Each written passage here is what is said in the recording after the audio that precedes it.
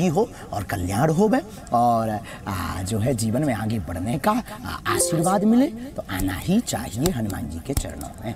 तो बाकी सरकार वाले भी आ सकते हमको हैं। चाय बहुत पीनी है। अभी कथा से उठे हैं तो आपने बाकी सरकार वाले भी आ हम सकते हैं। सरकार किसी सरकार बीजेपी वाले हमारी खुद की सरकार है बजरंग बली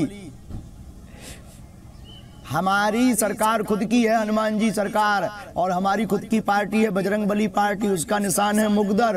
उसका नारा है जो राम का नहीं वो किसी काम का नहीं। Vote for you my dear everyone ठीक है बहुत बहुत शुक्रिया महाराज जी आपने दिल खोलकर हमसे बात की। लेकिन हम फिर भी यही कहेंगे कि आपके ऊपर अंधविश्वास बहुत फैलाने जुग की जुग जो जियो ऐसे ही मुखर होकर के बात करो।